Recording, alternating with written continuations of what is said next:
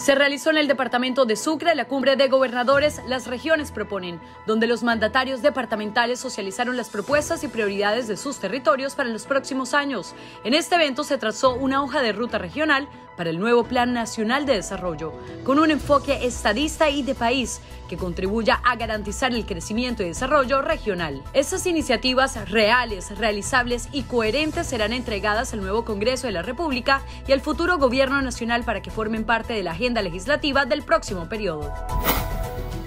Con el objetivo de fortalecer la reactivación económica desde el sector turístico, nuestro director ejecutivo Didier Tavera acompañó al gobernador del Meta, Juan Guillermo Zuluaga, en la inauguración de la Feria Nacional del Cebú, en el marco de Expo Malocas 2022, feria en el que el departamento de Cundinamarca fue el invitado de honor. Asimismo, el director de la FND acompañó la firma del memorando de entendimiento entre gobernadores del Meta y de Cundinamarca para fortalecer el turismo en estos dos territorios, sector que representa otra oportunidad de progreso para estas regiones.